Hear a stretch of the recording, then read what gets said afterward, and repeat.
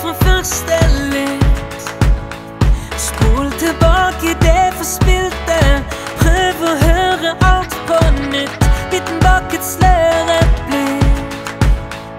Som en snyten sin.